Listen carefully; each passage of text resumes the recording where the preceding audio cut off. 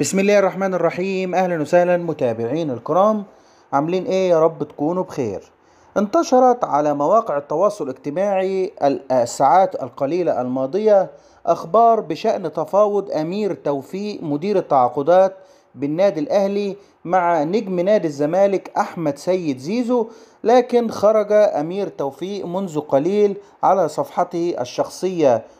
تويتر ونفى هذه الإشاعات وقال في التويتة على تويتر أنه آه، لم يفاوض أحد فيما معناه وقال أمير توفيق على تويتر بلاش تكذبوا الكذبة وتصدقوها ياريت كل مسؤول أو إعلامي يتحمل مسؤولياته ويكون داعم بجد لنبذ التعصب الانتصارات بتكون في الملعب مش مجرد بطولات زائفة على السوشيال ميديا استقيموا يرحمكم الله.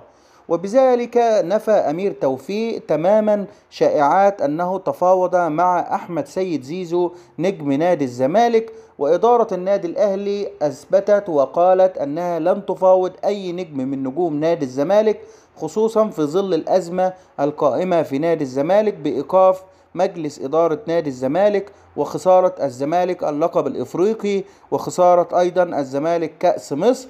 فإدارة الأهلي تنفي عن طريق أمير توفيق تفاوضها مع أي نجم من نجوم نادي الزمالك خاصة أحمد سيد زيزو الذي انتشرت إشاعات أن أمير توفيق تفاوض معه لانضمامه للنادي الأهلي وبذلك آه، أغلقت صفحة أو إشاعة كذبت أن أمير توفيق يفاوض أحمد سيد زيزو وأيضا ظهور لقطات حصرية لخناقة مصطفى محمد وحسين الشحات على السوشيال ميديا. سأترك لكم الصور على الشاشة.